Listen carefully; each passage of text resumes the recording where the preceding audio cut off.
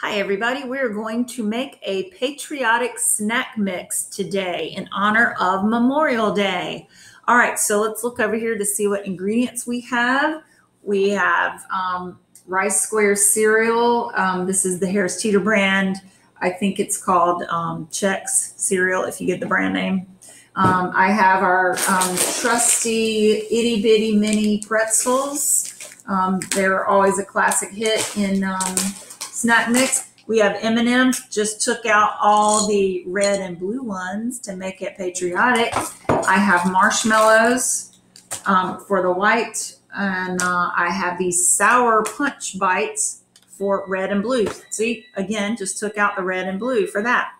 Um, I was looking for, I don't know if you've heard of it, but they make this uh, red, white, and blue candy corn. I was looking for that, couldn't find it. And I was looking for any kind of red and blue candy. You could use gummy bears whatever you want um, to do. So, all right, first I'm going to put in the rice squares cereal. Pour that in. All right. Then I'm going to pour in some pretzels.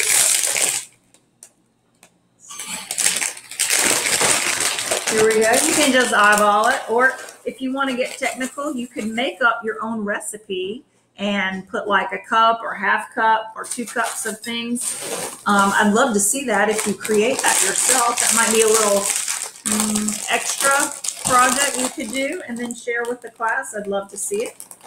All right, and then marshmallows, yummy in my tummy.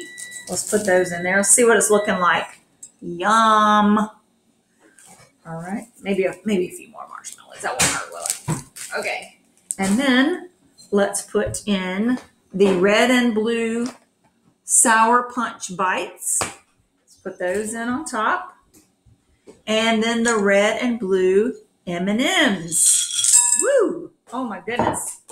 Memorial Day cookout, here we come.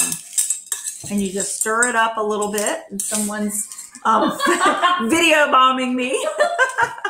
All right, now, oh, this looks like it should go on Pinterest. I'm going to take a picture of it and put it on Pinterest, I think. Okay, let's get a final look at that.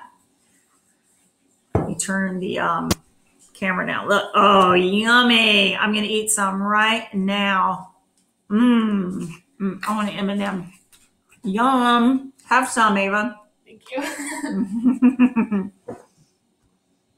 All right, now as with every recipe we do in remote learning, you might not have all these ingredients. And when I went to the store, I was just looking for red, white, and blue things. So whatever you can find, make it work. Write down your ingredients and call it patriotic snack mix. Okay. Enjoy. Bye.